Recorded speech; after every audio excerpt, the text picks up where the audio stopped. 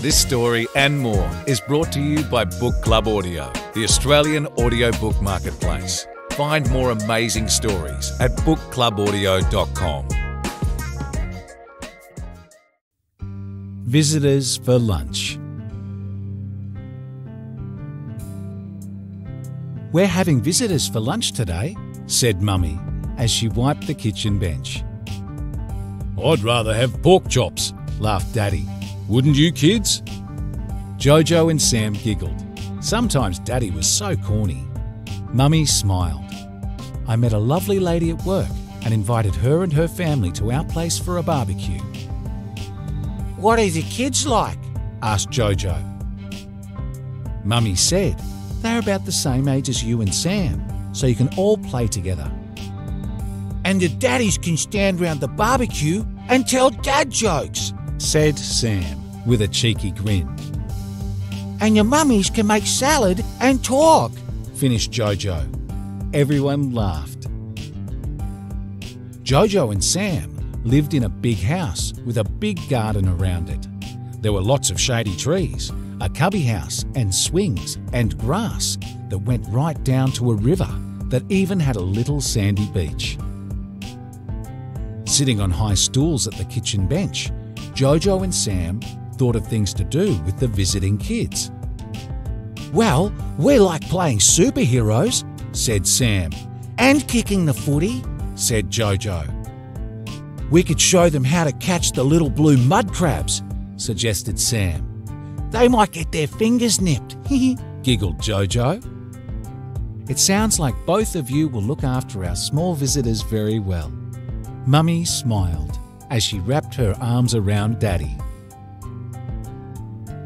Later, Sam met the visitors at the front door.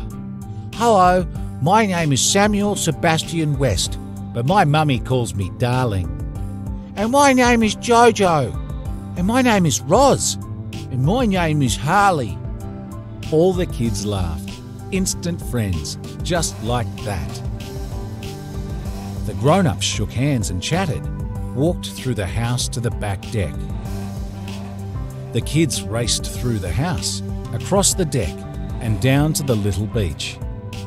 Kicking off their sandals, the kids splashed into the shallow water, pushing and shoving and laughing like they had known each other for ages. The grown ups smiled proudly. Later, Daddy shouted from the back deck. Hey kids, who wants a banger sanger with Marty sauce? Our daddy makes corny jokes all the time.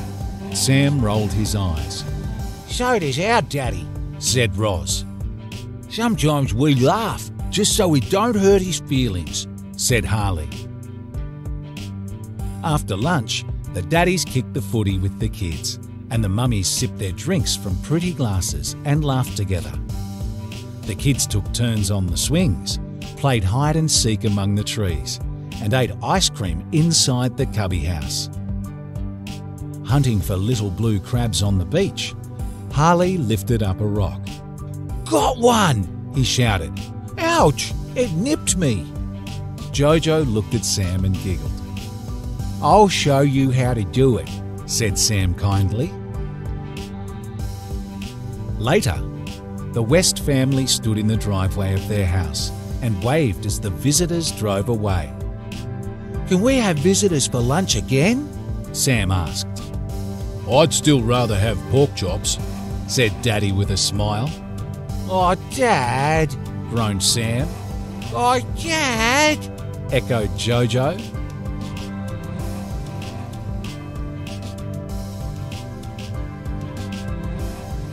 That night, in Roz and Harley's bedroom, Harley looked over the edge of the top bunk.